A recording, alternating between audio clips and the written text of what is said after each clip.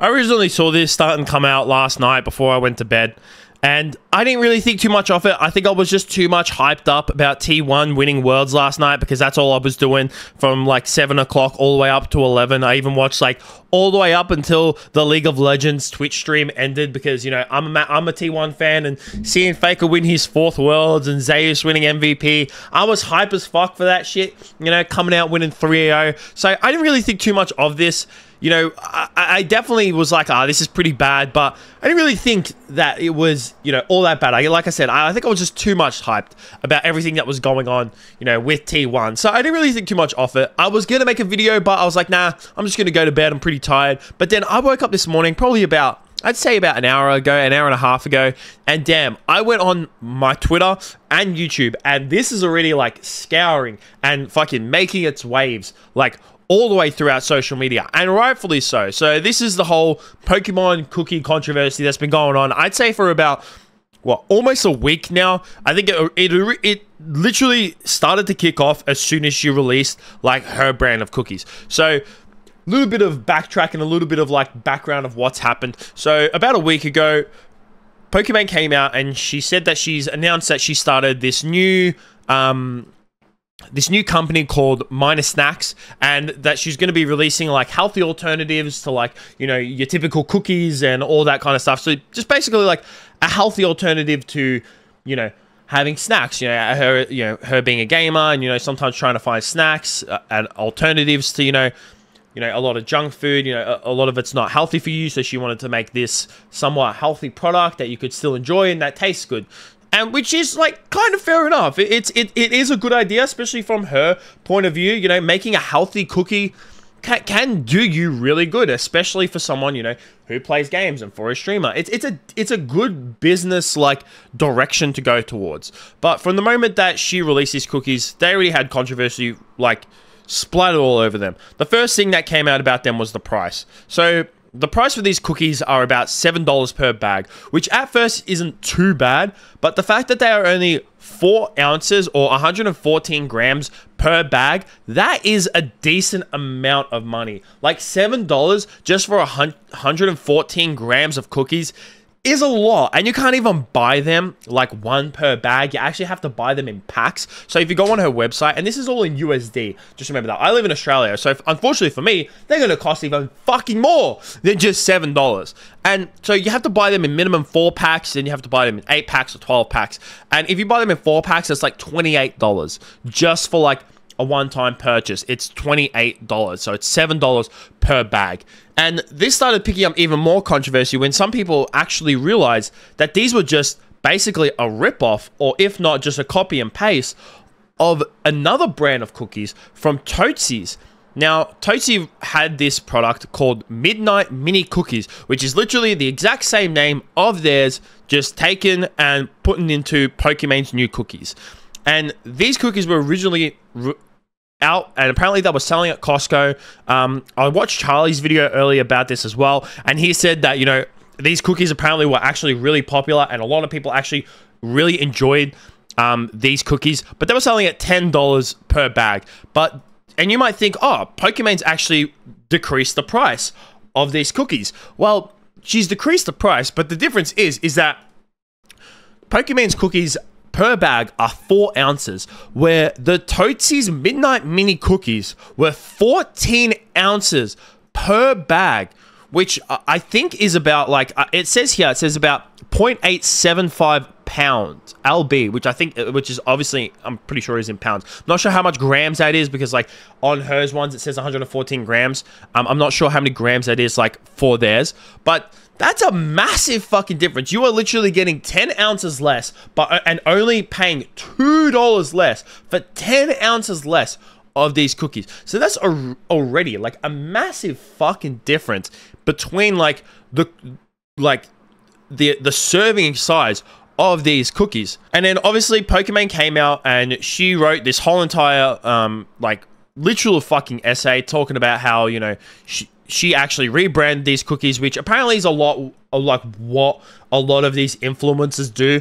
Um, I'm not sure if it's 100% true, but I also read that this is actually what Mr. Beast did with his like chocolate as well. Like his isn't like his own brand from the ground up. It's more or less they take a brand that's somewhat failing or that's failed already. They buy that brand, then they kind of like rebrand it into their own, which is kind of fair enough. You know, if you're an influencer, it's probably the best way to go. And I understand that to some extent. And then Pokimane's also come out and said that she changed a lot of the ingredients in her product, which is the reason why apparently you know costs and prices change. And that would be fair enough. But the fact that like you are getting 10 ounces less inside a bag and then only charging two dollars less is a fucking law and like I said, the one thing that people had apparently about the product when it came to the original Tootsie Midnight cookies is that the reason that people didn't really buy them all that much, and I think the reason why they failed, is because the pricing of these cookies was a lot. People didn't want to pay $10 a bag for cookies, which is a lot. Like cookies aren't that fucking expensive. You could I could literally go to Coles, which is like an Australian supermarket,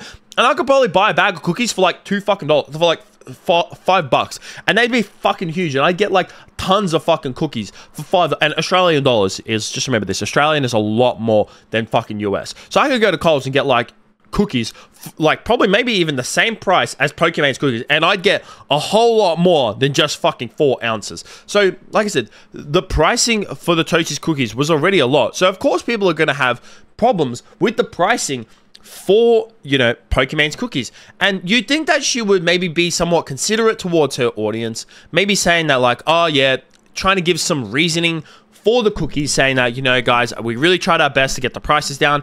Unfortunately, you know, because of the new ingredients that we've had to add, and, you know, we really tried to make them as healthy as possible. And if you know anything about health, if, if you, like me, and, you know, you're big on health, um, I am in a bulking stage, so I do eat a little bit more junk than usual. But at least when I was younger and I was like, playing sport and I was like watching my, you know, health a little bit more than I am at this point in time, you know, you would know that health products aren't that cheap. And it's kind of fair enough. So maybe you would think that she'd come out and say that. But no. Instead, in her recent stream, she came out and said probably what is the worst possible thing that she could have said. And I'm going to play the clip now and then we're going to talk about it a little bit more. So here's a clip of probably the worst words that could have come out of this woman's mouth. When people are like, oh my god, $28 for cookies? It's four bags. That's seven, seven dollars a bag. I know, I know math is hard when you're an idiot, but uh, like if you're a broke boy, just say so. Anyways. I heard Charlie say it, and it's so fucking true. Like, I, I really wish I could come up with my own thing, but like, I, I it, it's so fucking true what the man said when I was watching his video about this already. Like, you already know that when her managers and her PR team were watching this clip or have seen this clip going around social media, you know that they stood up out of their chairs and they were just like, well, guys, we're done here. This is what he did. He was like, well, we're done here. That's it. We've had a great run. Good job, everybody. We've just, uh, well, we're fucked now. Also, I've been having so many problems with my camera already this morning. Like, I'm trying to get ready for my stream, and my camera's just been a cunt right now. So that's just a little side note. I think it's I think it's working fine. I think it's better. So I just had to reset my fucking OBS. But man, what what Charlie said is so true. Like this is probably the worst thing that she could have said by far. Charlie also in his video showed like he, he was even convinced that maybe she was actually joking and she just like after this she said, "Actually guys, I'm joking. Here's the reason why." Which would be fair enough. But she wasn't. She was dead set serious about saying this shit.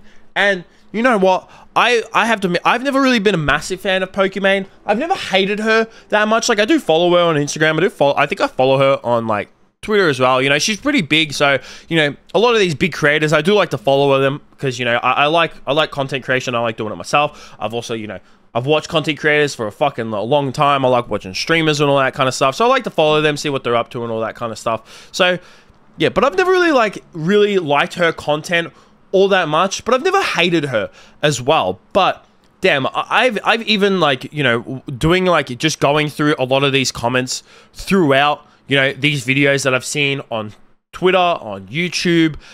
A lot of the people are not fucking surprised by these comments. You know, a lot of people say that she's not a very sympathetic person, and apparently that she's extremely fake. You know, I've also seen that she likes the public eye to perceive her a certain way compared to how she actually is. Uh, I also saw that there's another content creator, Nadia, who, if you don't know, she's like massive Call of Duty. What she got famous from, you know, supposedly cheating on Call of Duty. I, I don't really know if that's fucking true, but a lot of people say it is. I don't really care too much about that. COD's a shit game, anyways. But she actually came out and has actually defended Pokimane, which I think is kind of a bit stupid, especially because of the words that she said. So her tweet, she's come out and said, "You guys have people like Neon Jack, Sneako." Who average thousands of viewers and do nothing but spread negativity and harass people in public. But when a girl sells cookies, that's when y'all speak out. The immense hatred towards women on the internet is unhinged. This comment is just so absolutely fucking stupid. This is the people are not hating on Pokimane because it's a sexist because it's sexism. This is so fucking stupid. People are not hating on Pokimane just because she's sexist. I saw I was watching Asmongold's briefly um, video briefly about this as well, and people were saying that like, oh, if XQC did this, people wouldn't care. People would care if XQC did this. People fucking can't stand XQC. Have you seen the fucking ridicule that that man has gotten in the last few months when it comes to his React video? Obviously, majority of it maybe, you know, somewhat is deserved because his React videos are pretty fucking, you know, boring and the man just literally re-uploads other people's videos of him with him just sitting in the fucking corner just staring at the screen majority of the fucking time but people would be pissed off at him as well people aren't pissed off at pokimane because she just released a cookie and because you know yeah, people are really annoyed at her. The fact that she released them, that a little, somewhat overpriced, which, like I've said already, and a lot of people are saying as well that seven dollars for a bag of cookies, especially for a bag of four ounce cookies, is a lot. And the fact that you can't even buy them separately, you have to buy them in a four pack. You know, people don't want to spend $28 just on fucking cookies. Majority of the people who are going to buy these cookies are the ones that literally like love fucking Pokimane and follow Pokimane to the end of the world. Like her die-hard fans, which she 100% has. Because when you're a streamer this big, you know, you have those fans. You know,